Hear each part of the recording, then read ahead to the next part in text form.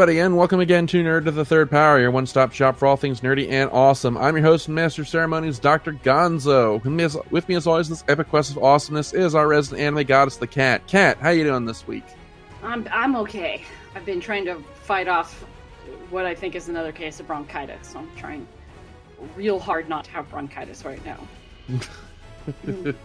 That's my normal state of being, though, for real. just a just a continuous long war against you and bronchitis. Yeah, I mean, like that's been like my last two years. Me versus the bronchitis. Ash versus the Evil Dead. Autobots versus the Decepticons. Coke versus Pepsi. Joe versus a volcano. That's the level of rivalry. I'm not familiar with that last one. Oh, it was like a Tom Hanks movie from the early 90s? All right. Well, we got a fun show uh, for you guys this week. Today, we're discussing something that uh, you guys have been asking us to talk about for a while. Uh, and now we're finally getting onto it with uh, season three's release, and that is Stranger Things, uh, the hit Netflix series that just had its third season come out uh, a couple weeks ago. And uh, I've been really excited about it. I know Kat's really excited about it. So, uh, yeah, it's going to be a fun show.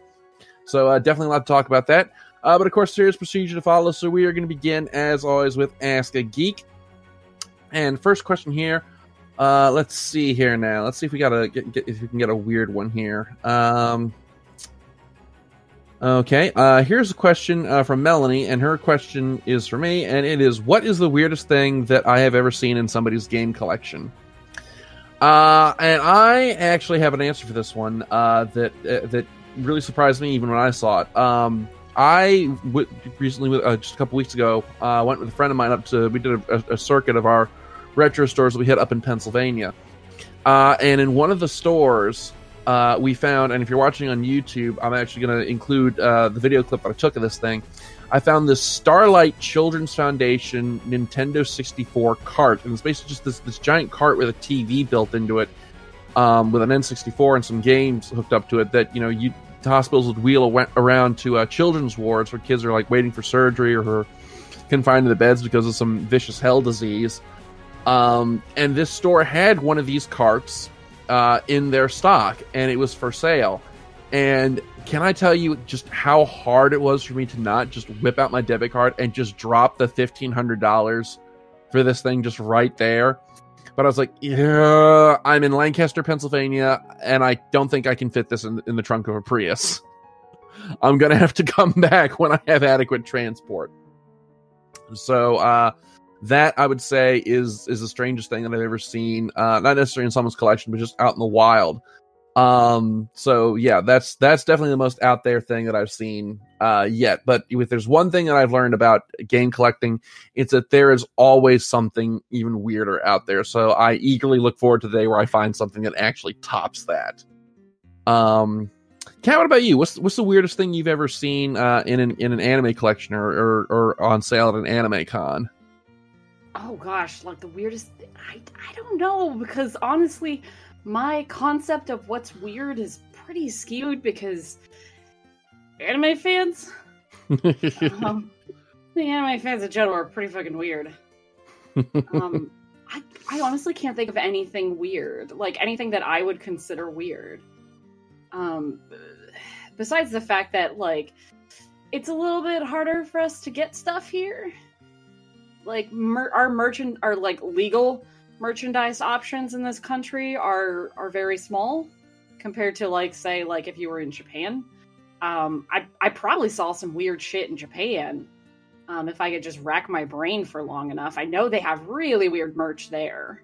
um, like I'll I'll go, I'll say this: there are some weird like merch uh, like merch opportunities in Japan. Like, um, stuff that I haven't seen personally, but I know exists are like when they they do like one piece is being used as in an advertising campaign for like Gillette razors or something like that. Um, and you're just like, what does this have to do with anything? What does this have to do with anything? So you get some random item, just any old normal item, and then it's got a, an anime character on it, and you're like, I, when I lived in Japan, they had a thing going on with the um, the the local sports team, and by that I mean one of the most important baseball teams in the country was the Hanshin Tigers, and they just had like just like a Coke bottle or something, and then they if you bought it, you would get like a Hanshin Tigers like phone charm. I was like, why? I mean, like really, but w- these things don't really necessarily go with each other. I mean, I guess I get it, but still, it's just like you get some weird combinations there. You know, I that actually makes me think of something uh, in, in in the gaming side of things. Uh, are you familiar with the the Daiei Hawks? No. They're a, they're a Japanese sports team. Well, they had a tie-in with Nintendo, and they and Nintendo actually produced a line of special edition Daiei Hawks branded uh, Nintendo 64 consoles that are actually pretty highly sought after here on our side of the pond. Interesting. They were like these these bright orange translucent consoles. if you want to know something really weird um, that I have seen for sale is um you know because Hello Kitty's a thing. We all know Hello Kitty. We all know Kitty Jen. Mhm. Um, Hello Kitty is just a merchandising thing. I mean, it's Oh, I think I know where you're going with this. yeah, so a couple years ago, Hello Kitty did a crossover with Kiss, the band. So they released a bunch of merch with like Hello Kitty characters with the Kiss hair and the Kiss makeup, and like it was so strange. It, and it just made me go, what was Kiss thinking? I get what Hello Kitty was thinking. like, was Kiss like, oh yeah, we love Hello Kitty? Like, I don't know, but it's so crazy that there was all this merch out, and you could probably still find it um like online and stuff. I, I think I think I've actually seen one of those recently. Those those Hello Kitty Kiss dolls. That that Yeah. I that they gotta gotta gotta say though that was uh, that was when when you brought up Hello Kitty that was not the direction I thought you were gonna go with that. Oh gosh, which way were you thinking? well, I immediately had a flashback to uh, the Hello Kitty episode of the Toys That Made Us, where they talked about the quote unquote shoulder massager. Hint hint nudge nudge. Oh, That is a thing, guys. They made Hello Kitty dildos. It's a thing. Shoulder massagers, because that's a thing. Yeah, that's right up there with uh with with with ethic with uh, ethical mechanics is, is, loot boxes. Yeah, who are you trying to fool? No, I think the crossover with Kiss is weirder than the than the vibrators and dildos and stuff. I think that's still weirder. Yeah, you know what? I got I got to give you that because, like, you know, the, the the the vibrator. That's just like you're, you know, it's like you've done everything else. You may, you know, you may as well tick off this one last box. But Hello Kitty and Kiss, someone had to sit there and think of that for a while. That was a meeting. That was like several meetings going, what can we do next? Huh. And then people were throwing out ideas and writing them up on a board and crossing stuff out because it was too inconceivable. And somebody circled kiss up on a board and was like, that's a that's the one we're doing. Well, I mean, you know, it could could have been uh could have been worse. It could have gone with the, the, the Rolling Stones and had a had a, a, a Keith Richards branded uh Hello Kitty that came with like a heroin needle. You know, if if Keith Richards was just a little more distinctive looking, that's because I think that's what it was with Kiss. Is they're so distinctive looking. You just you look at the branding and you're like, I know what this is. so that's what they were going for because it's like Hello Kitty. You're like, oh, that's how that's that's Kitty. That's the same thing with Kiss. It's immediate recognition. Yeah, the, anyway. the, the the the one thing they're missing was like they they because I'm looking at the picture one right now. They didn't give her Gene Simmons tongue, but I guess that makes sense because she has no mouth, and yet Hello she Kitty must scream. There used to be a website called Hello Kitty Has No Mouth. Oh God, that's a throwback. Yeah, this That was like what 2002, long- 2003. So long ago. Hello Kitty has no mouth, but they make Hello Kitty toothpaste. That was the whole website. Was like Hello Kitty has no mouth, but dot dot dot. Now I'm curious. Is it still there? Yeah, that I, I I'm I'm curious. I'm googling it and I don't see. Uh, nope, it just brings me the the because like, but I remember that Hello Kitty has no mouth. Um. Oh no! Wait. Yes, it is. Yes, it is. It's still here. Oh my god, guys, we have made an archaeological discovery. Well, I well I don't see anything about the toothpaste, but I see like the original meme page where it's, it's got like Hello Kitty has no mouth, but she must scream. That is why her head is so big. Hello Kitty has no mouth, yet she speaks the truth. Hello Kitty has no mouth, so where has all the pores gone? I'm going to include the link to this underneath the feed. This is like legit internet history here. This, this is, is yeah, this is so old. This is stuff like we were joking about like yeah, probably like 15 years ago. Oh, older than that. Copyright 1998. Jesus fucking oh. Christ. Yeah, but this website's older. 1998.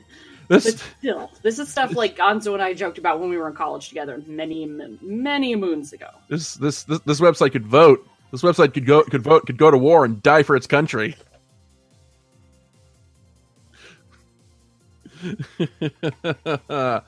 All right. Okay, let's see. Uh, but yeah, I'm going to include a, a, link a link to this underneath the underneath the, the, the feed here for you guys to check out. Uh, and uh, let's see here now. Next question here. Uh, do um, here is a question uh, from Danny, and uh, and this is a question for Skyblaze. So uh, that one's going to have to wait. Uh, let's see here now. Um, Oh, here's one that uh, that that is uh, nice and topical. Here's one from Peter, and his uh, question is: What are our thoughts on the live action? Which I kind of have to bite back a retort on this. The live action Lion King film that just came out.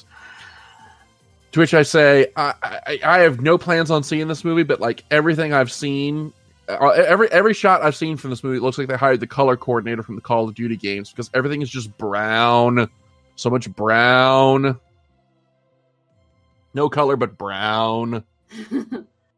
I I have thoughts on it. My thoughts aren't wholly negative. I I think that it's probably fine.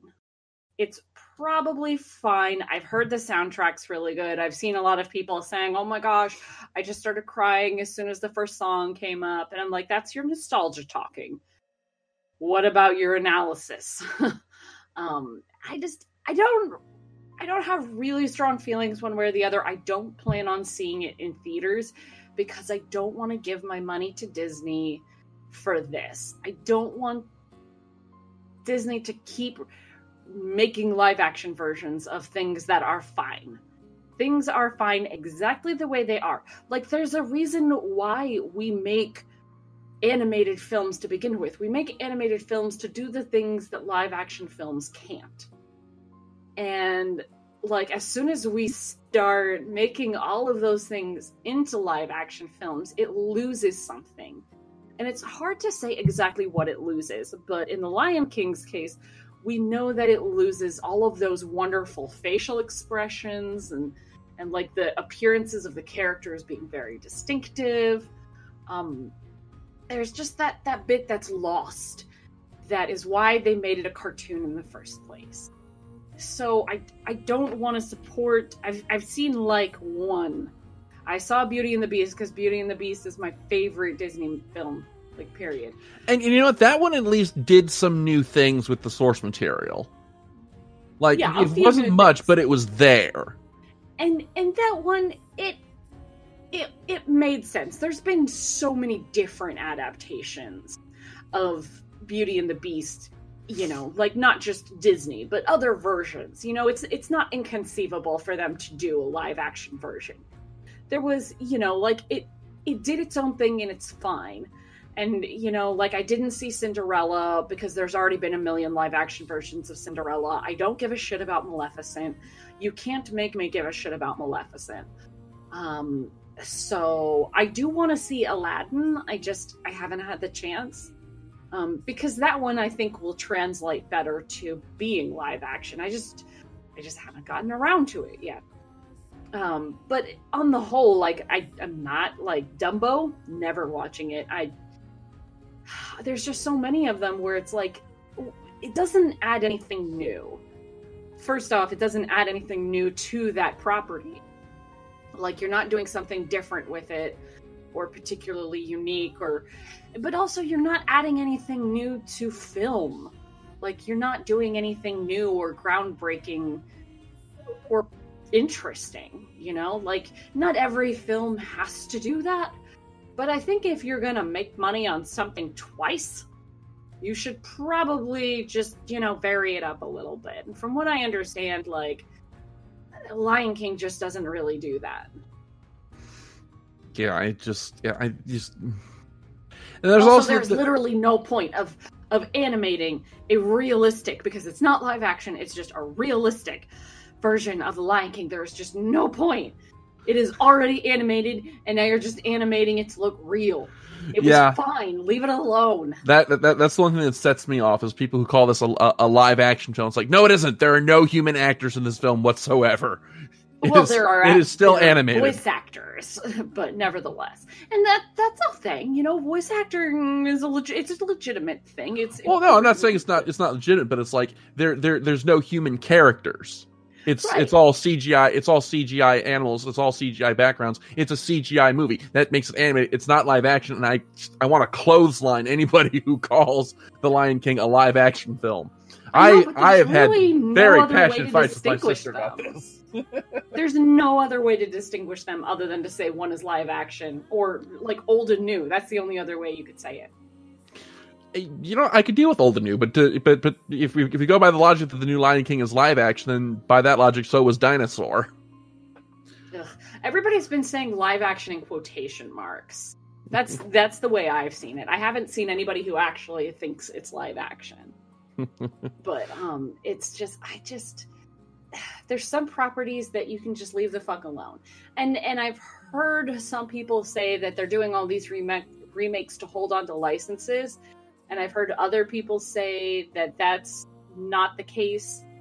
Um because you know like they have to like produce something every once in a while in order to not lose like the trademark or the copyright or whatever um and i've heard other people say that that's not really the case for this you know for these like disney movies and stuff Eh, you know the patents aren't Well, ready to run out I mean, that argument makes sense for things like, say, Cinderella or Maleficent that are based on public domain properties. But, I mean, The Lion King, unless you want to get into the whole Simba versus Kimba argument, which is a discussion for an entirely separate table, you know, that was a wholly Disney created product. There's no license to lose. Well, you know, like something might eventually go public domain. You know, like that's why they like uh, years ago they changed the like every time you go see a Disney movie, there's like Steamboat Willie driving it, and they like made a new Steamboat Willie animation so they could patent it so they could keep Steamboat Willie. Yep. so like that kind of thing. Like they just got to keep doing it to make sure it doesn't they don't lose it. They don't fall into public domain. Yeah. Um, so, but uh, I've heard that that's not actually true. That's not why they're doing it, and I would believe that it's not true, and that they're just doing it to to make money, to cash in. Got to get those dollar dollar bills. Yeah. And you know, I'm not wholly against it. There there are some franchises that I think lend themselves well to live action versions, you know, ones with mostly people in them, for example. Give me a live action Three Caballeros or get the hell out of my sight. um, um, shit, I forgot what I was going to say. Um, um, but it, it does, you know, there is the opportunity to bring, you know, this this franchise to a new generation. But with the release, the impending release of the Disney Plus or whatever they're calling their streaming service, the the things that were previously unobtainable, like vaulted movies are no longer going to be a thing. So to me, it's like okay, we're not restricted like because we can't get the the, the movie on DVD because it's in the vault. Everything's going to be at our fingertips now. So we don't really need to keep remaking a bunch of shit because we'll have the original thing right there. So they're just double dipping, basically. you know, I wonder. I really do wonder that. I wonder if they set out a plan for all these live action movies before their streaming service was finalized, or if they are really just like, no, give us all the money. Hmm. It's probably just give us all the money. Let's be real. So, all right, but that's all the Ask the Geek questions that we have for this week. Thank you as always for sending them in. As always, you can send them to us through the email at drgonzo at nerdofthethirdpower.com. We love getting your questions, love reading them on the air, so uh, go ahead and get your questions in. You just might get yours read on the show. And now that we've had our vegetables, let's get right down to the meat of the show, and that is Netflix's Stranger Things, a show that I have been wanting to talk about uh, since season two came out. Uh, I, I was one of the latecomers to Stranger Things. I absolutely fell in love with the show once I once I finally got around to start to, and started watching it. Um, and so season three came out uh, a couple weeks ago. So we're going to go ahead and talk about uh, our general, you know, kind of just our general thoughts on the on the show as a whole, and then uh, break down season three. So, uh, Kat, I think you were actually the first of us to actually uh, discover Stranger Things. Uh, so let's uh, let's start with you. What what what what what drew you to Stranger Things? What what is it about about uh, Stranger Things that you enjoy so much? Um, well, first off, I need to state, if I didn't already mention this in a prior episode, that the very first episode of Stranger Things that I ever watched was like a week or two after it launched on Netflix, like season one launched on Netflix. And everybody was saying it was really good, and I didn't know anything about it except that it was like really 80s themed. And I was really, really sick one day, and I was like holding up on the couch, and it was like I was ready to go to bed, but I wasn't quite tired enough. And I'm like, let me put on this show that I actually have no interest in, really. And I'll just throw that on the TV and veg out for a little while. And then within five minutes, I'm like hyperventilating. I'm like, oh my God, this is so scary. Oh my God. Like, like I sat straight the fuck up at the first jump scare. I was like, why did I do this to myself? Um, so you were legit hallucinating. it was it was pretty wild. It was a wild ride because I I went in completely blind. I didn't know anything about it, so I didn't expect there to be like a monster right away. um so that was fun, but I have been super hooked on it ever since. There's a lot of different things that make it so enjoyable. Um, one, the nostalgia of everything being the 80s. Um, Gonzo and I are 80s babies, so we were allowed to have nostalgia for the 80s, even though we were quite young during the 80s. Um, but uh, so the, the nostalgia for for quote unquote simpler times, but um, the, the, the running themes of Dungeons and Dragons in it is pretty entertaining. The the clear homages to other science fiction elements, like there's you know homages to uh, what Close Encounters, um, Alien like basically everything. Yeah, basically like every other every other frame of the series is an homage to some 80s show or or film if you know what you're looking for. Yeah, and it's all just so brilliantly executed. Um the fact that it's it's really interesting show and there's kids in it, but it's not 100% solely focused on kids or adults that it, it breaks the the character screen time down pretty equally. Um you know, it's it's a very emotional series. Everything feels really raw in it. Um, and the kids who are in it are just so talented. I mean, everybody's talented because Winona Ryder in there. It's, I mean, it's it's a lot of really good stuff going on, and it's like a continual mystery, especially the first season of you know what's going to happen next, and it's really edge of your seat action, and that's why I love it. yeah, one of the one of the, the, two things that I love the most about uh, Stranger Things is one, like you mentioned, how it how it uses the '80s tropes, um, and it it it kind of you know there there's so much of this uh, focus now on on subverting tropes and subverting expectations, whereas Stranger Things just kind of plays into the hilt and says, you know what, you know these things don't need to be twisted around at every single turn. We can actually play these to the hilt and still make something good out of it. Like uh, you know, one of the the the, the standout ones is you know if you if you've seen a lot of '80s movies, particularly ones uh, about kids, you know, there's always the bully character uh, that you know torments the the lead kids and winds up getting their their payback in a spectacular and over the top fashion and uh, you know you had you had those in uh in in well you've had you've had one in some form or another in every season so far um, but the ones in the first season are the ones that that stand out the most to me um, just because of how what fucking little shits they are mm-hmm. i was I, I, remember like like i remember the scene at the uh, at the at the at the cliff side uh, where El finally Eleven goes, you know, just goes ham on these bullies, and I remember it being, you know, I'm looking at this like, you know, I should be horrified by what I'm seeing these kids do to these younger kids, what these bullies do, but at the same time, I'm kind of laughing because like this is just so 80s, it's it's hysterical. the other thing that I really like, and and I want to, this also goes back to your earlier part about how talented the child actors are, is is one of the things that really has bothered me about modern media about kids or surrounding kids is there's this tendency to make the kids be almost like miniature adults. Yes. Like they they they they they know things that they really wouldn't at that age or they they they have priorities that they wouldn't have at that age but the kids in stranger things are just that they're kids you know and they act and behave as kids would and like the the standout moment is i believe it's in season one it's when uh it's when dustin and mike are uh talking in mike's basement and uh mike and um what's what's the what's the black kid's name i can't remember it off the top Lucas. of my head and Lucas. And Mike and Lucas have, have, had a fight. They're not talking to each other. And Dustin's like, okay, you know, you, you, you know, you know the rules. You drew first blood. You've got to shake his hand. And Mike's like, no, I'm not going to shake his hand. Dustin's like, no, no, you've got to shake his hand. This is the rule of law. Obey or be banished from the party. And like, that is just, you know, what, what group of friends didn't have those weird playground laws? you know, growing up that you just nobody can re- remember who came up with those rules, but they were they were unspoken, they were clear, and they were ironclad, and everybody just obeyed them. And it's like, but it, it's it's like that kind of thing that you know solidifies these kids as kids, and I just absolutely love that.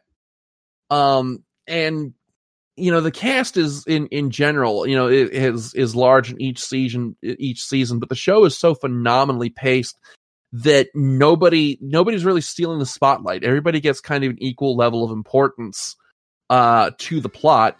Um except for maybe Max in season 2, but I think I think that I think her introduction to season 2 was to set her up for the arc in season 3.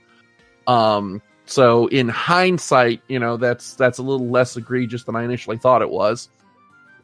Mm, excuse me. Um but yeah, just just you know, there's I don't know. It, it, it, you ever you ever watch a, a, a a film or a show that you can just tell as you watch it that the people who made it had a real passion for what they were doing? That's what I see in season three. I I can't point to a single actor in this series and think, okay, I don't think he was having a good day this day. It's like, you know, I, I it really feels like everybody's just having an absolute blast making the series, and absolutely loving it, and it really shines through in the performances and the production. You could tell the Duffer Brothers are huge nerds. I love that you can tell that they're huge nerds. indeed, indeed. Um, so uh, I guess for for those who, who haven't seen the show, uh, before we start going down, before we start breaking down season three, we should probably give a quick recap of uh, seasons one and two, and uh, you know what kind of stuff goes down in there. So, uh, Kat, why don't you go ahead and just give us a, a brief Cliff's notes of the first two seasons? Oh, brief. Shit, that's gonna be hard. Okay, so, the basic premise of Stranger Things is that in the quaint town of Hawkins, Indiana, in 1985, um, there are a bunch of uh, secret uh, scientists who work for the government doing experiments, and they have a girl who is called Eleven, um, and she escapes. Woo, she escapes after she has kind of sort of accidentally like torn a hole into another plane of existence that's sort of like this eldritch monstrosity plane. Um think silent hill with a lot of uh, a lot more dust. Um or if you're a d&d-er it's very like abyssal. Um there's a lot of call of cthulhu shit going on. Um and uh there's a group of four friends uh, uh, um, Mike, Will, Lucas, and Dustin, um, who are kids, just four really good friends, and a couple of their older siblings and stuff. Um, and Will goes missing one night, and he has been taken. They don't know it, but he has been taken by a monster from the other side of this gate uh, called a Demogorgon. And the first season is everybody, like the parents, the police, and the kids all trying to figure out what happened to Will. So it's kind of like this this really horror mystery of everybody's coming to realize what the viewer already knows is that there is monsters involved and they are terrifying and that 11 this poor girl who has been basically raised in a laboratory who can barely speak is their best chance of finding will and stopping the demogorgon. So a lot of stuff happens um, and they they defeat the Demogorgon, and then um, Eleven goes missing. after defeating the Demogorgon. It's kind of presumed that she might have died. Um, and then in season two, you find out that Eleven didn't die, and that the police chief, um, Jim Hopper, has actually been hiding her out in the woods and acting like her, her basically like a surrogate father to her and trying to teach her, but also keep her safe because there was this big cover up and people died, and so you know he's afraid of her basically getting snatched up by the government again. And while all that's going on, we find out that Will, who had been taken to the other side of the the gate, had been brought back. Was he was not quite normal. There was a lot of weird stuff going on with Will, and so most of the season is spent with Will um, being manipulated by a new monstrosity called the Mind Flayer, um, which for everybody who plays d&d is nothing like an actual mind flayer but it's really cool. Um, so will is being manipulated across the gate to um, because this gate is still open. Like it never got closed the the tear in between planes that El opened was never closed so there's this creature called the mind flayer trying to get through and because will was a good vessel he's manipulating Will into a series of events. Um, and so a lot of season two is trying to get Will back on track, trying to keep him from uh, helping the Mind Flayer to destroy the world, and everybody finding out that Eleven's still alive, and it introduces some new characters, and we find out that Hopper is working with certain sections of the government. Um, and a lot of bad stuff happens. It is very brutal. Um, Dustin gets a Demogorgon dog creature thing. Um, it gets then, it gets weird, but um, it ends with El closing the tear. And then we also have to we also have to give brief mention to Sean Astin as Bob Newby, who is just the the, the the the the sweetest and, and, and most tries his absolute hardest to be a good stepdad, stepdad, um, but dies horribly in I think the second to last episode. Yeah, it did have Sean Astin playing Samwise Gamgee, basically. He was such a cinnamon roll. uh, but you know, like the song says, the good die young. Oh, uh, so uh, just so we and so one of the, so one of the things that uh, was that was that came about in season two was the introduction of a pair of characters uh, to the cast, uh, and that is uh, Max and her older brother Billy uh, who Billy who serves the the role of uh, the bully for season two. Um, and Max is a new addition to uh, the group of friends, uh, bringing the total out to a total of six. Uh, and that's important because uh, Billy actually winds up being really important to the plot of season three. So I guess now this is the part where we're going to start uh, talking about season three and uh, the plot therein. So uh, season three kicks off. Uh, I want to say maybe like a year. It, it, it, I think it's the summer immediately following uh, season two, or maybe a year or so afterwards. Um, life has pretty much uh, gotten back to normal. Uh, Mike and Eleven are uh, actually dating. Um, if you know that's what you want to call sitting in in the room at Hopper's house and furiously making out while, while Hopper tries desperately to keep the door open to watch them. Uh, let's see. Um, the the gang, the rest of the friends have uh, come back from their various summer vacations. Dustin has come back uh, from a science camp uh, with tales of a girlfriend in Canada. That uh, you know, the, the, the stereotypical, you know, I've got a girlfriend that you're not going to meet story that we all had as children. Uh, and you know, there's there's an overall theme of, of, of people growing up and and how there's this fear that this gang of friends is going to wind up growing apart because poor Will who's had the absolute shit beat out of him over the last two seasons. He just wants nothing more than just sit down and play a game of goddamn Dungeons and Dragons. But everything going on around him, he just he doesn't get his wish, and it's just it's it, I oh, I felt bad for him. Will Will needs a break. Yeah, uh, poor Will. Well, it turns out uh, that uh, there is actually, of all things, uh, Russians, uh, a group of Russians who have made uh, a base underground uh, in Hawkins. And because, you know, you just can't leave well enough alone, they're trying to reopen the tear into the Upside Down, as it's called.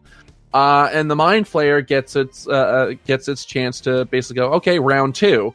So it winds up possessing Billy and uses him as this vessel to build uh, this army. Uh, we later find out specifically to strike at 11 because it has figured out uh, that she was the one who closed the gate on it, and uh, it has basically made it. It's basically become hell bent on killing her. Uh, another plot thread that runs throughout this this season uh, is the you know this new mall that was built, the Starcourt Mall, uh, and it that that storyline centers specifically on uh, the ice cream shop Scoops Ahoy and uh, its workers. Uh, let me see here now. I, I got a cast list here. Let me pull it up here. Um, Robin. Robin, yeah. What was the uh, what was the dude's name though? Uh, Steve. Steve. Steve. Harrington. Uh, with Robin, uh, who's a new character uh, this this season, and Steve, who was uh, who's been around since season one. And uh, Steve, is, over the course of season two, he came to be real good friends with Dustin. So when Dustin comes back from science camp, uh, he brings this rate. He's brought this radio tower that he's built because that's just what you did in the '80s as a, as a smart kid. You built your own ham radio. Uh, and he winds up intercepting a Russian transmission, which he takes to Steve and Robin at Scoops Ahoy, and uh, Because, they you wind know. up because that's what you do and uh, they wind up translating it and discovering a Ru- this secret Russian base underneath the mall. Because if you're going to build a secret Russian base in the middle of the Cold War, what better place than underneath a mall? Because it just makes so much sense. And so they wind up discovering uh, this underground base and, and and infiltrating it with the help of Lucas's sister. Uh, so that that's that plot thread. The other plot thread that uh, the third plot thread concerns Hopper and um uh, and uh, Joyce, uh, who this is this is what I think is the weakest start as far as plot points go. Uh, basically, Joyce is worried that her magnets don't work. And thinks that there's something hinky going on. And Hopper, poor Hopper, he's just like, look, you know, I just want to grab dinner and have a normal life, but this this bullshit keeps happening. and they wind up stumbling across the, the Russian subplot and kid and abducting a Russian scientist. They're chased by Mister Not a Terminator throughout the whole series. He's totally the Terminator. uh, Mister to- Mister Mister Bargain Bin Arnold Schwarzenegger. and it all finally uh, culminates. Uh, oh, excuse me. There's a fourth plot thread that's actually going through, and that involves uh, Mike's. Is, is it Mike or is it Will's older brother? No, Will's older brother. Um, God, so many characters. I can't. Uh, I I can't keep track of them. Uh, John, Will's older brother John, and uh, his friend, yeah, Jonathan Byers. Oh, Jonathan. Yeah, they never Yeah. call him John. Okay, all right. Well, then, okay. Jonathan, that's what I'm talking about. Jonathan, Jonathan, Karen, who are working uh, for a newspaper as interns, and uh, they kind of stumble across uh, a uh, stumble across the the the the, the mind flayers plot uh, to possess people, uh, and it all culminates in this huge throwdown fight uh, at the mall against basically the avatar of the mind flayer um, who's been using these possessed people and actually reducing them to this goo that it's using to to constitute its physical form within our reality. Um, there's teenage drama, lots of uh, lots of angst, lots of uh, lots of shouting, lots of cons- lots of Russian conspiracy, Cold War era stuff, and uh, it's just a good t- a good rollicking time all around. And there's also some really brilliant fucking jokes. At one point, Dustin sings the never-ending story, completely apropos of nothing, in the middle of a of what could possibly be the end of the world, and it somehow fucking works because this is the '80s and we were just all on all the drugs back then. So uh, let's just start breaking this uh, the, down into its component parts. So, uh, Kat, what uh, what what what did you think of the uh, the story and, and plotting of season three? Well, um, I rather enjoyed all of it, the story and everything. It it seems apropos of the 80s and also relevant to modern times to have Russia be the bad guys. Um, the, there's there's very little more 80s than a Cold War kind of vibe than having the Russians come and just fuck up what little piece you've managed to find. Um, so I, I I liked that they were able to keep the same. You know, they weren't um, looking around for a new a new monster basically they used season two's monster um so there wasn't like a, an escalation issue you know or anything like that? We're not suddenly this isn't supernatural you know? They're not like okay we did a monster and then we did a bigger monster and now we have to do the devil you know nothing like that. So they're staying with like the same theme and the same like brand of villains basically. Um, very very interesting how they can keep coming back to the same thing the same okay here's a gate and now there's a monster. Like they're doing the same thing but keeping it fresh and fun. Yeah. Um because one one of my worries going into this was like okay how are they going to justify open the gate again? Because like at the end of season two i mean the the whole government uh off the whole government lab had pretty much been pretty definitively shut down.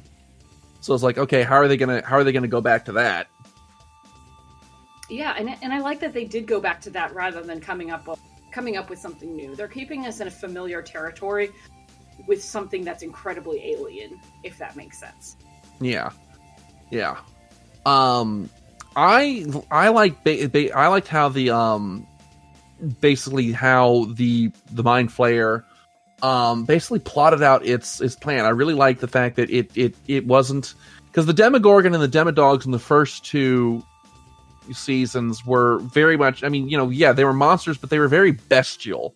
Whereas the mind flayer it's it's made very clear throughout the throughout the season that yeah it's an eldritch abomination but it's a thinking one. It's it's one that that has a plan and it knows what it wants to do and how it's going to pull it off. And i also really like that uh it it, it just on a personal i really like that it used billy as its avatar um, because I absolutely fucking hated his ass in season two, and then season three rolls around. and was like, oh, good, I have an excuse to want to see him dead. yes and then and then in in true stranger things fashion it just sort of is like hey remember how you hate this guy now you're gonna feel really sorry for him Yeah, yeah.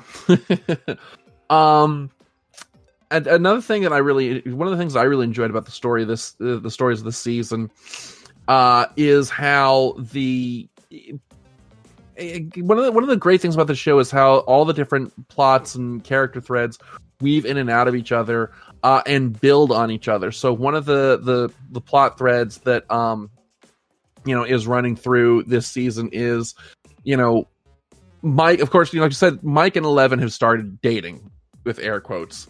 Um, and, and when early in the season, Hopper has, you know, gotten kind of a little uncomfortable. He doesn't want his little girl, you know, growing up too fast. So he basically does the overprotective ba- dad bit and scares Mike into kind of backing off.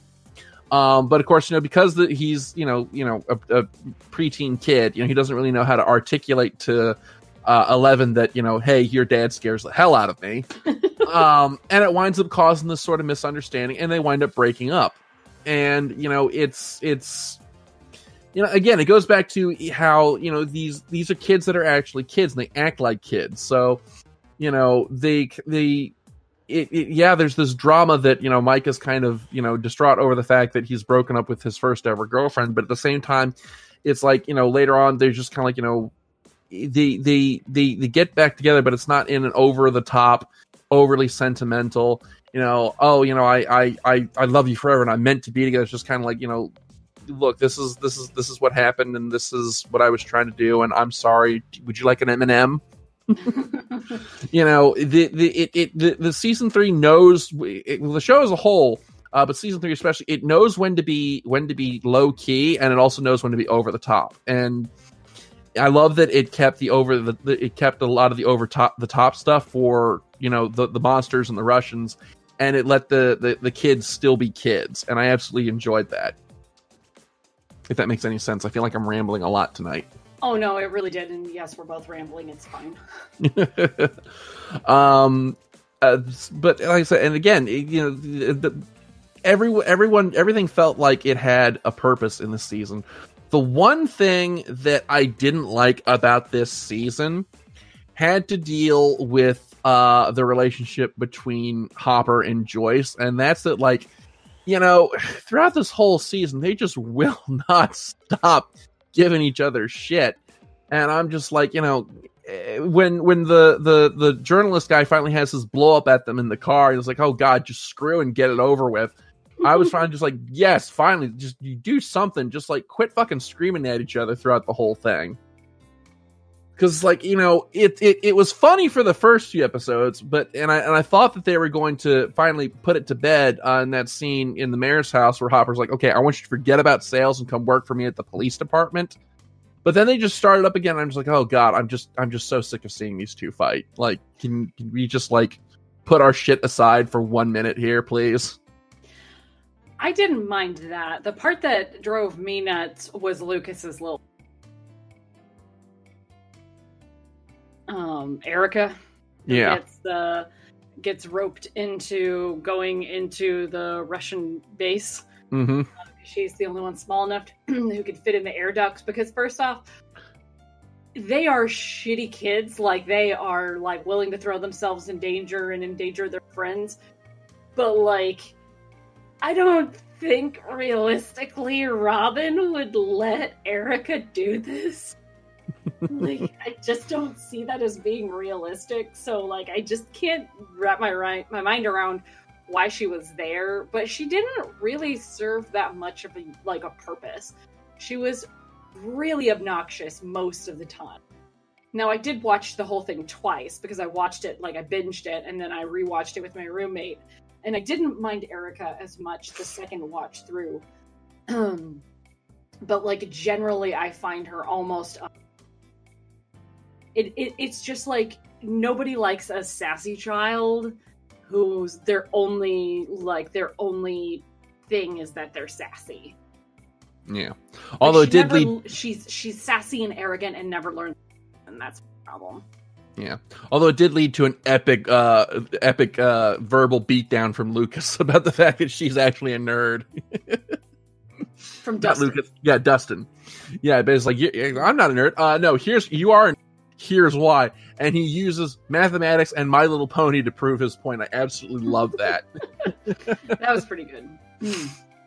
Um, so uh, the now the, a character that I had um a problem with was uh the the abducted Russian scientist. Um, no, Alexi. yeah, Alexei, that was his name, or at least the name they gave him. Um, because I I kind of felt like he was. I don't know. I feel like he didn't really add anything except to, he was just there to be a burden. So was- like, Mm. Mm. Like- he, he was there for you to fall in love with so that they could just kill him. Yeah, well. So, um that was the the one character that uh that I just really didn't jibe with was Alexi. I loved Alexi. Mm. He Okay. was so funny. Um, because he's a little bit right and a little bit wrong, you know? Um, but like genuinely you're like, oh, this is somebody who humanizes the opposition. He's one of these scary Russian scientists, but is he though? He just seems like a nice guy who wants to watch cartoons and not die. yeah. Um so but I mean just again just there there there there's so many different plot threads that that that run through the season and it's, it's hard to discuss all of them. Um but like I said they they all just come together so brilliantly. Um and I liked that uh we finally got to see like I mentioned in season 2 when Max was introduced she was just kind of there and didn't really serve a greater purpose and I like that we got to see her actually be a more active participant uh, in the party's antics, and I absolutely loved uh, the bit. Uh, in, I think the halfway point uh, where she basically plays the devil on Eleven's shoulders, like, okay, you know, you- look, Mike is fucking lying. You You need to drop his ass and come shopping with me. you know, because it was just, it was, I don't know, I, I, I, it was, it was great to see Eleven get to be like an actual normal kid, uh, for once, and I absolutely love seeing that, and it just, ah, it, it, it. It warmed the cockles of my of my cold, black, diseased heart. yeah, um, because Max's role last season was to be the outsider. And this season, she's in on everything. Nobody has to hide anything from her. She's officially one of the party now. So she gets to actually, like, not be shit all over. Like, the first, like, second season was really rough for her because she's trying to make friends after coming from a really pretty abusive family, all things considered. And these guys are just treating her like trash, really. And it's because they're kids and they don't really get it. And and it's kind of, you know, it's realistic that they would be like, ah, we can't tell her anything. Ah, but we still want her to be our friend because she's kind of cool.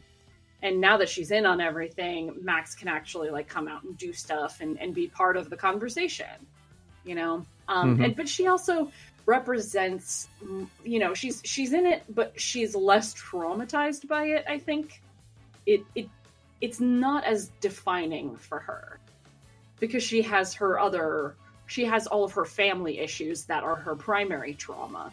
So like poor will just wants to play d&d because he spent two seasons like getting kidnapped by monsters and abused by monsters. And his friends have spent two seasons trying to help him. And she's like yeah but i've spent most of my life getting abused by this asshole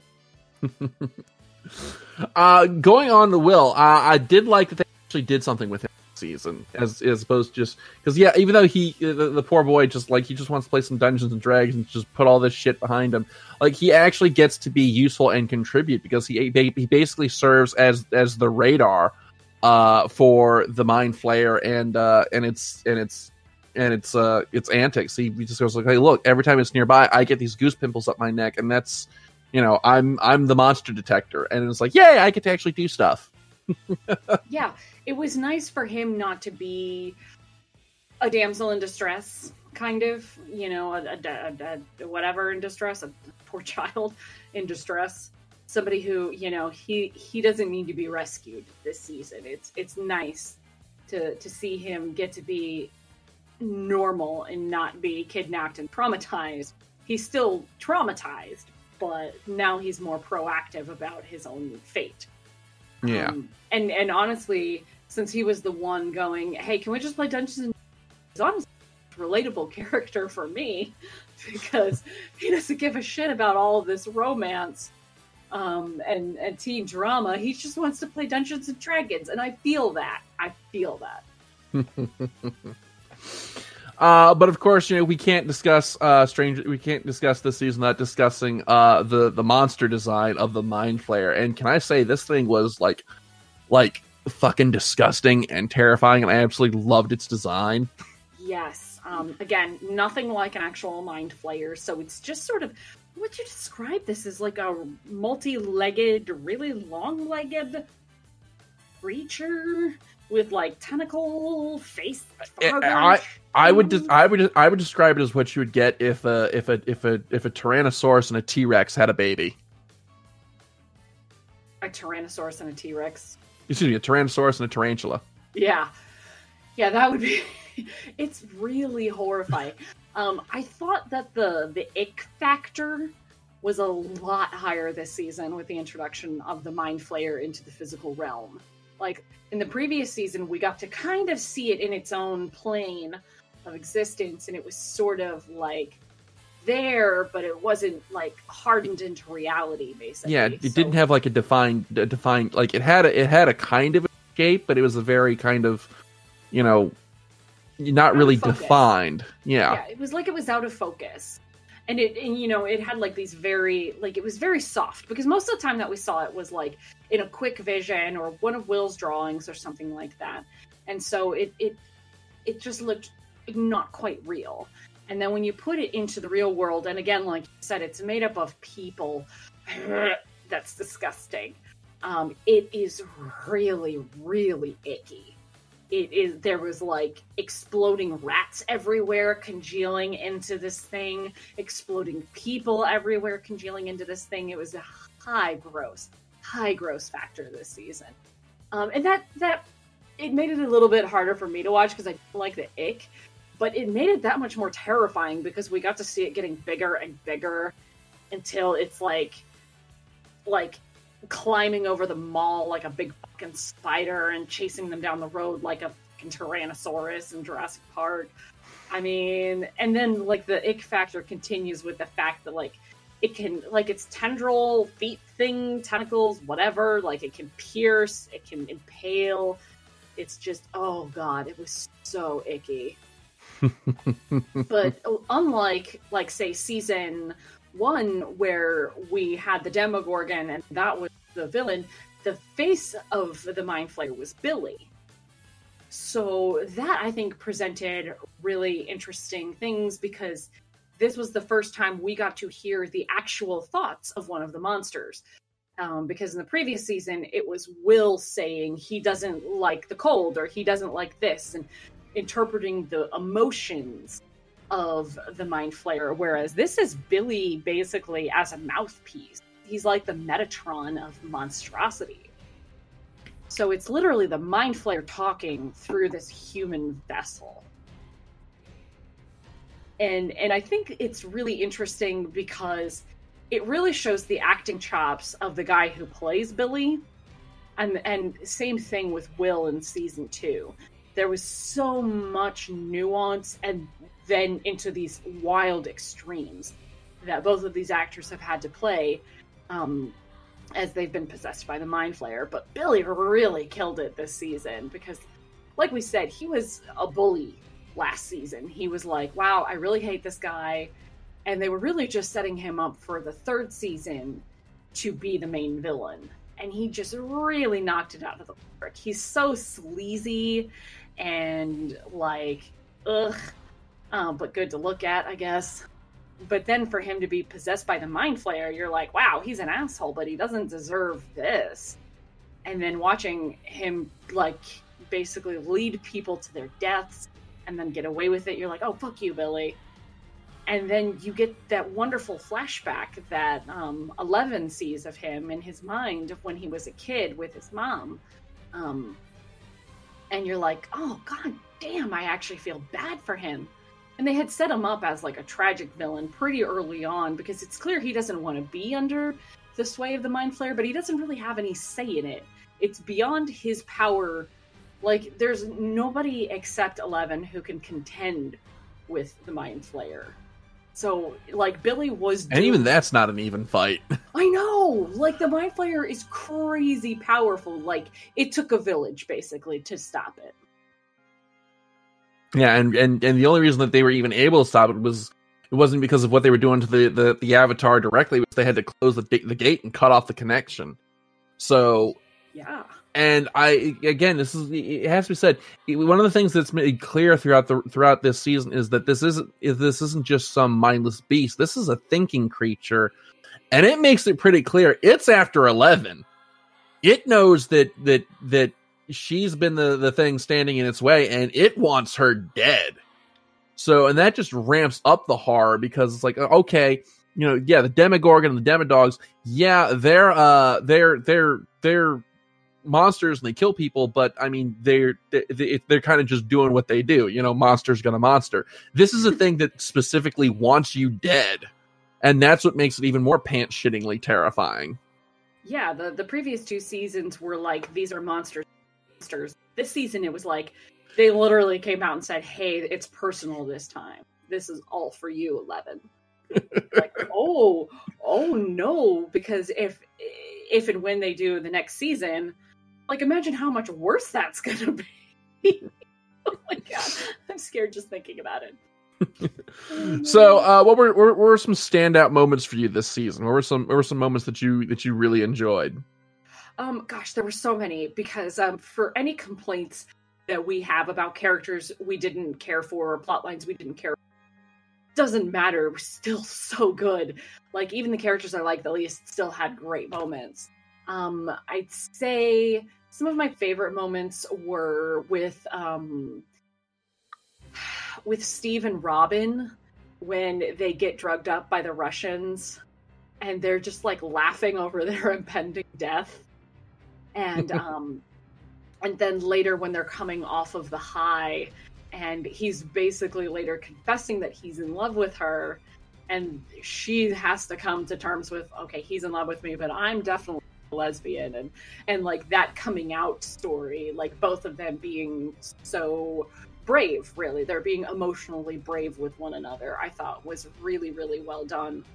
Um and uh gosh we we have to talk about the final episode uh where we finally get to meet susie And Susie is is Dustin's uh, Girlfriend in Canada. girlfriend in Canada. She's his his, uh, his camp girlfriend that who lives in Utah, and they're supposed to talk. And they've tried to get her to come on the radio, and everybody says Susie's fake, and everybody doubts him so much that you're watching it going, Susie is definitely real.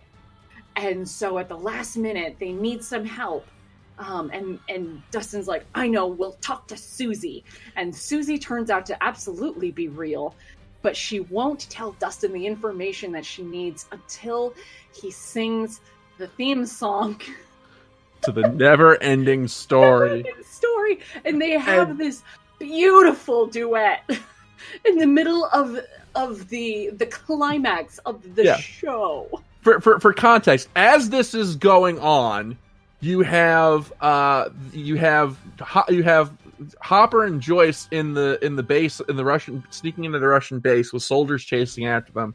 You have the Mind Flayer's avatar chasing after uh the the the Eleven and the rest of the gang in a car, uh, and all this crazy shit going down, and if they're on the they're on this radio that uh, they're, they're they've been talking to each other through walkie talkies and everyone is listening to this conversation between Dustin and his girlfriend and hearing this song.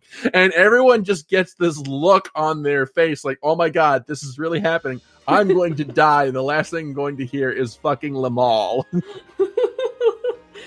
And and the best part about it is that both of the actors, uh, Dustin's and Susie actors, can sing so well. Like they're they've both performed on Broadway in singing roles. Like they're both so good. So it just kind of comes out of nowhere. Like, is this really happening? No. Why are they so good? This is ridiculous. And and I don't know a single person who watched Stranger Things third season without having that fucking song stuck in their head for like at least eight days. it's so crazy. I mean, like I've seen some pretty wild, like, hey, this is this is the season finale, and then that happens. You have shattered my expectations for all other season finales because they didn't just like take the train off the tracks. They like stopped a car full on treads of tracks in the, the, the dirt and you're just like what the fuck is happening it was such a crazy derailment and it just fit the series so well oh gosh that was uh, like hands down everybody that i says that was one of the best moments of the show Uh, let's see. One of my uh, favorite moments uh, came uh, from Lucas, and it's when they're in the uh, convenience store and they're trying to, Yes. you know, get stuff together to, you know, uh, to to fight back, and he sees this fireworks stand, and you know, Lucas never really got to show, uh, you know, how smart he was uh, in the first couple seasons. Um, he was just kind of. Kind of more the scrappy fighter, but uh, he figures out that like you know, okay, look, if we take a- enough of these fireworks, and we mix these these together, uh, we can get like you know basically sticks of dynamite here, and it actually pays off because they actually managed to use it to actually hurt uh, the Mind Flayer's avatar uh, in the last uh, in the last battle. They don't manage to kill it, but they managed to you know at least it, at least make it uh, think twice about what it's doing here, getting its shit kicked in by a bunch of kids. And then in the middle of that, they have a debate over old Coke versus new Coke, which I thought was like, you know, you you have to address that. you can't set your show in the 80s and not address new coke. Oh man. Um so I liked the the shopping montage with Eleven and it was just nice to see them being kids and and being girls and going out and doing the thing you would have done in the 80s going to the mall trying on ridiculous looking clothes getting your picture taken like it just it, it and it was like the first or second episode or something maybe the second episode but it really was just like ah normality 80s normality, but nevertheless normality. yeah so um but of course you know good things. There was a there was a lot of good moments, guys. yeah uh but of course you know elephant in the room you know just as just as we had bob newby bite it in season two you know we have to have our tragic death this season and uh hopper's the one who drew the short straw this time around and man like I, the thing is like his death itself didn't really get to me but man when they read his letter Oh at the end of the episode, I was just oh god, I got broken in half. Yeah. That was really, really tough because Hopper's thing happened so fast. He didn't get like a dramatic on screen death like Bob did. He, it was just, he was there and then he was gone. And you piece together this is what they knew would happen if he stood there. He was going to get lasered. And then, then he was gone. And you're like, did they just fucking kill Hopper? And they, they, they kept the camera there a couple of times for a little bit long because they were psyching us out into thinking that he was going to have a dramatic last minute pop up, like he was going to, you know, climb, pull himself up over the edge or something, and and he would have been fine. But they they tricked us, and it didn't happen. And uh, so you're like, oh fuck, this this is this is happening. Hop's gone. Um, but it, what what got to me before the letter was when everybody's reunited. Um, and Joyce is hugging Will, and she looks over, and Eleven is searching for Hopper. She needs to go hug her dad because everybody else is hugging, and he's not there. And they make that eye contact. And Joyce says it with her eye contact, and Eleven breaks down. And that's when I started crying, and then I didn't stop. oh my gosh, because definitely in the reading of the letter, really, really, really emotional because uh, he's you know it's it's hop's letter for like hey could you please like you're growing up too fast give me give me this time but you know make mistakes and we're gonna fight it's gonna be like this but you know this is all part of growing up and blah blah, blah. and it was so emotional and so so beautiful. And i like i don't i don't know anybody who stayed right eyed through that. It was really really sad and it's and it's read throughout this montage of the Byerses uh, basically packing up and getting ready to, to, to leave Hawkins. So it in a way it, it, it it's kind of you know Will kind of casting dark prophecy. He's afraid of the group splitting up, and that's pretty much what happens at the end of this season. Yeah, so. and I can't blame Joyce for wanting to move because you know three traumas is plenty. Yeah. Just get out of Hawkins. Let everything else be someone else's problem. The next time Hawkins gets haunted by monsters from another plane. Yeah. Let that be someone else's problem. But yeah, it it really felt like the end of an era. Even though we know there's going to be another season and that they all have to get the band back together, it really felt like a like a really rounded whole like a whole ending. Um and then they got us a stinger and I don't know. Some people missed the stinger because it was just far enough in the credits that they had already turned it off. Did you catch the stinger? Uh, I didn't see it, but I did read about it, so I know what happens. Okay, so the stinger, after everything, is you know they go over to they're panning over to Russia basically, and um, it's two like Russian military looking guys. I guess they're military looking guys. I don't think they were scientists, but anyway, two Russian dudes. They're they're walking along and they come to like a locked door, and one of them says to the other, "No, not the American," and they go to another door and pull some Russian dude out and basically throw him into a cage, and then out comes a Demogorgon. and this raises so many questions.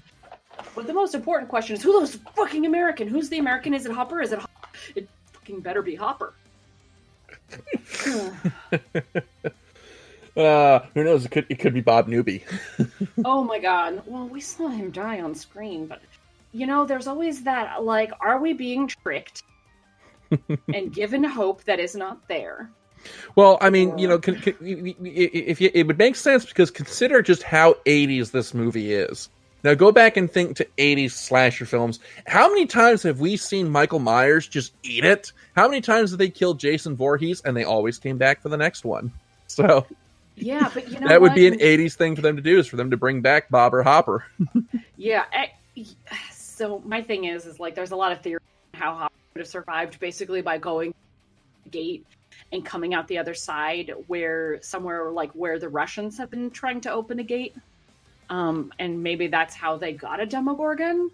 Um, unless they somehow like found a living demo dog or something. But that's like one of the prevailing theories. But what's interesting, while I do believe Stranger Things would troll us, and that's not Hopper, somebody asked actor David Harbour in an interview, so what's the future of Hopper in Stranger Things, and he said, "Well, did you see the credits?" And I'm like, "Oh, oh, oh, oh!" So I'm allowing myself some hope um, that that somehow, some way, that that that's Hopper, and that he's alive, and um, that we'll have him back next season. Okay. So, uh, so we're kind of running short on time here, so let's uh, kind of start. Let, let, let the wild and base speculations commence. Uh, what are some things you'd like to see in season four of Stranger Things? Well, Hopper for one. um, I'd I'd like to see. Um, so first off, whatever happens, it's probably going to be during the day because the kids at the end were talking about getting back together, Thanksgiving, and then maybe Christmas. Mm-hmm. So they did Christmas one season, and this one was Fourth of July. So maybe Thanksgiving will be the next one. But I, I think it sounded like maybe everybody was going to get back in Hawkins at Christmas. Maybe we'll see. Um, so I'm hoping it's another holiday. Yeah, yeah, it's been it's been a different holiday every season. Second season was Halloween, Yeah. So it's got to be during another holiday. First off, um, so maybe Thanksgiving. That'd be kind of cool. I don't know why, but it, you know, just to keep the theme. Um, I need a Hopper to come back, maybe like midway through the series, so that we we start to forget our, and then boom, he comes in. Uh, that would be good. Um, I'd like to see a new monster besides the Mind Flayer. I don't necessarily need escalation. I don't need a scarier or I don't need a bigger monster than the Mind Flayer, but something new. Like maybe maybe the Mind Flayer is tired of trying himself, so is going to send some really terrifying minions that we haven't seen before to try and take out Eleven and the gang. Um, I'd like to see the fallout with Max's family with uh, with Billy being gone, I feel like that's going to have a big impact uh, because Max's story in this season was particularly good because she hates Billy because he's an a hole who treats her like shit, but it's also like she does genuinely care um, and doesn't want anything bad to happen to him. So she was very distraught with his final outcome. So I think it would have really interesting, if not just plain old horrible repercussions on her family. Um, with with her stepdad being the primary abuser and everything. Um, I'd like to see uh, the next group. I'd like to see like uh, Erica with a nerd group uh, doing Dungeons and Dragons because that torch was passed on to her. So maybe like not the next generation, but you know, like maybe a new group of her friends who are all playing D and D now. That would be kind of nice. Um, I definitely need more Robin. Whatever the hell Robin is doing with life, percent more. um, and and more with Steve. Like, um, just whatever Steve is doing, I'm I, I'm interested. I'd, I'd like to. I'd also I, I also care about Nancy and Jonathan, but less than Steve Harrington because Steve is just the best. Um, I'd like Nancy to get the fuck out of that town. I tell you what. Like I'd like her to go become an ace reporter at some real paper in some real town. I don't want. I'd feel bad if Nancy were continually trapped in this shitty town that she clearly doesn't want to be in anymore. Yeah. Um, yeah. I would like to see uh, Lucas kind of get a little bit more time in the spotlight. Um, he had some moments to shine in the season, but like I said, for the for the for the first couple seasons, he was just kind of the other friend. Um, and you know, I, I- he's had the he's had the least moments to really shine uh, in in this series, and I'd really like to see him take a you know a little bit uh, get a little bit more time in the spotlight, um, and maybe kind of see more of of him and Max together. Um, because it's it's kind of you know it's it's kind of just assumed that you know the two of them are actually spending time together. We don't get to actually see them. One of the, one of the things that I really kind of noticed over the season was for all the talk about that that about you know Lucas and Max uh, being together and dating, we never actually got to see them interact all that much this season.